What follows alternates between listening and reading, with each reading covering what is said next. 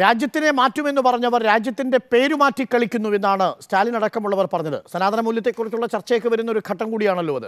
അപ്പോൾ എന്റെ ചോദ്യം ഇതാണ്. ഈ വരാൻ പോകുന്ന സെഷനിൽ അങ്ങനെ ഒരു പേരുമാറ്റത്തെക്കുറിച്ച് ബി ജെ പി ഉദ്ദേശിച്ചിട്ടേ ഇല്ല. അതെല്ലാം അഭ്യൂഹങ്ങളുടെ പുറത്തുള്ള ചർച്ചയാണ്. പക്ഷേ ആർ എസ് എസിന്റെ നിലപാടും ബി ജെ പിയുടെ യഥാർത്ഥത്തിലുള്ള നിലപാടും അത് തന്നെയാണ്. അതല്ലേ അങ്ങ് സമർത്ഥിക്കാൻ ശ്രമിച്ചത്? പക്ഷേ അപ്പോഴും എന്റെ ചോദ്യത്തിന് ഉത്തരം കിട്ടിയില്ല. ഇന്ത്യയുടെ പേര് വന്നത് വൈദേശികാധിപത്യത്തിന്റെ ഭാഗമായിട്ടാണെങ്കിൽ ഹിന്ദു എന്ന പദവും സമാനമായ റൂട്ടിലൂടെയല്ലേ എന്ന പ്രാഥമികമായ ചോദ്യം ഇപ്പോഴും വഴിയിൽ കിടക്കുകയാണ്.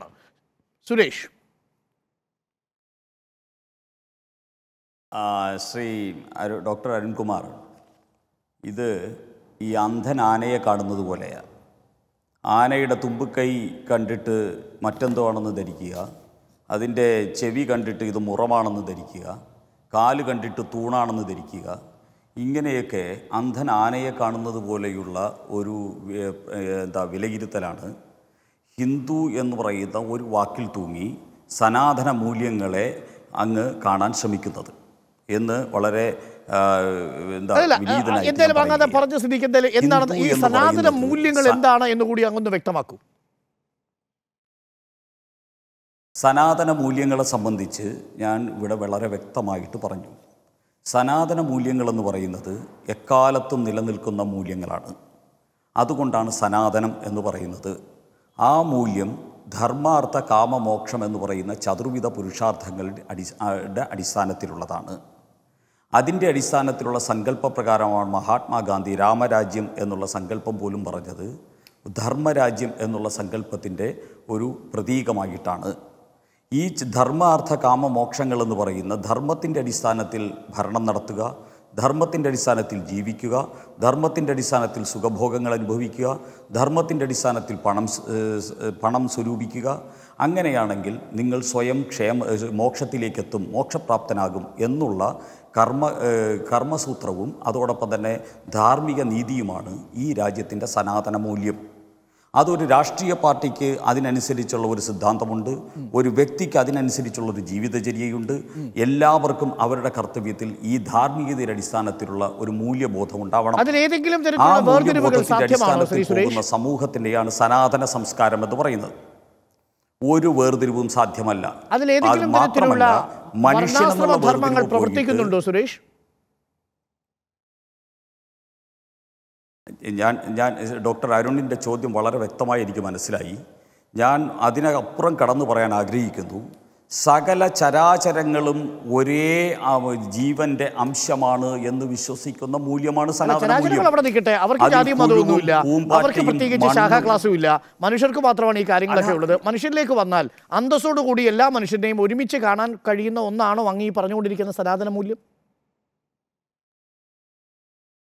അതാണ് ഞങ്ങളുടെ ഏകാത്മ മാനവ ദർശനം ആ ഏകാത്മക മാനവ ദർശനത്തിൽ ഏകാത്മ മാനവ ദർശനം ഐത്തത്തെ നിങ്ങൾ പ്രോത്സാഹിപ്പിച്ചിരുന്നു? പ്രകാശം. അയിത്തം പിന്തുടർന്നു പ്രകാശം മാഷ് അല്ല പ്രകാശം മാഷ് ഏ ഞാൻ ചോദിച്ചോട്ടെ ഇവിടുത്തെ ഏറ്റവും വലിയ അരാജകവാദികൾ ആരാ മുതലാളിമാരെ കൊന്നൊടുക്കിയിട്ട് കമ്മ്യൂണിസം ഉണ്ടാക്കണമെന്ന് പറഞ്ഞ് കോടിക്കണക്കിന് ആൾക്കാരെ ലോകത്ത് കൊന്ന ഒന്നാം തരം ലോകം കണ്ട ഏറ്റവും വലിയ ക്രിമിനലിന്റെ പേര് സ്റ്റാലിൻ എന്നല്ലേ? സനാതന മൂല്യത്തിൽ നിന്ന് സ്റ്റാലിനിലേക്ക് ഒരുപാട് ദൂരമുണ്ട് ശ്രീ സുരേഷ്. നമുക്ക് സമയം അത്രയും ഇല്ല. ദീർഘമായിട്ട് സംസാരിക്കേണ്ട വിഷയമാണ്. അങ്ങ് ചുരുക്കി പറഞ്ഞാൽ ഇന്ത്യ എന്നുള്ളത് സനാതന മൂല്യത്തെ ഉൾക്കൊള്ളുന്നില്ല എന്നും ഭാരതം എന്ന് പോലെ, പറയുന്നത് സനാതന മൂല്യത്തെ പോലെ ഉൾക്കൊള്ളുന്നു എന്നുമല്ലേ അങ്ങ് സമർത്ഥിക്കാൻ ശ്രമിക്കുന്നത് സുരേഷ്? തീർച്ചയായിട്ടും അതായത് വർഗത്തിന്റെ പേരിൽ മനുഷ്യനെ കൊന്ന് അതിന്റെ പേരിൽ അധികാരം സ്ഥാപിച്ച് കൊള്ളയും കൊലപാതകവും നടത്തി പറയുന്ന ഒരു രാജ്യത്തെ ചെയ്യിപ്പിച്ച കമ്മ്യൂണിസ്റ്റുകാരൻ ഭാരതം എന്ന പേർ സനാതന മൂല്യത്തെ പ്രതിനിധീകരിക്കുന്നു. അപ്പോൾ ഇന്ത്യ ദാറ്റ് ഈസ് ഭാരത് എന്നുള്ളതൊരു പ്രശ്നമാണ് ബി ജെ പിക്ക്. അങ്ങ് പറഞ്ഞു കഴിഞ്ഞു സുരേഷ്.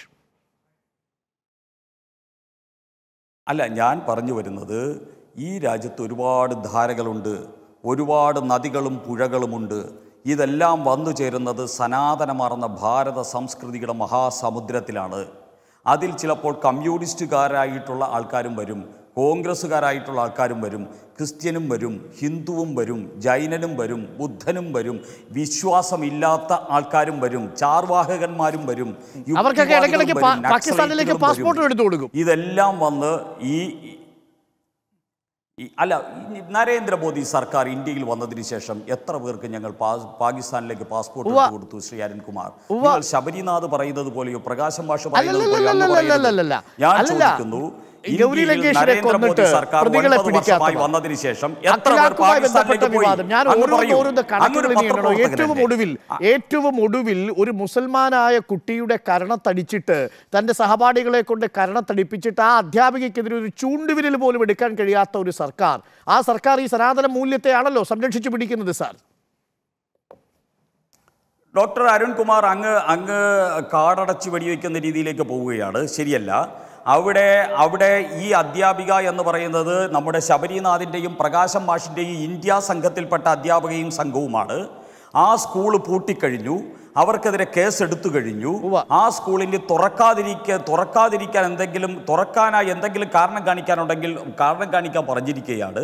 ശക്തമായ നടപടി എടുത്തു കഴിഞ്ഞു. ഇന്ന് ഇന്ത്യക്കാരാണ് ഇന്ത്യ എന്ന് പറയുന്ന വ്യാജ എന്താ വിഷം വമിക്കുന്ന ആൾക്കാരാണ്. അത് സെറ്റിൽ ചെയ്യാൻ വേണ്ടി അവിടെ ഓടി നടക്കുന്നത് എന്നുള്ള വസ്തുത അങ്ങായിട്ട് മറച്ചു വെക്കരുത്. അങ്ങായിട്ട് മറച്ചു വെക്കരുത്. അതിന് ഉത്തരം പറയേണ്ടത് ശബരിനാഥും പ്രകാശം മാഷുവാ.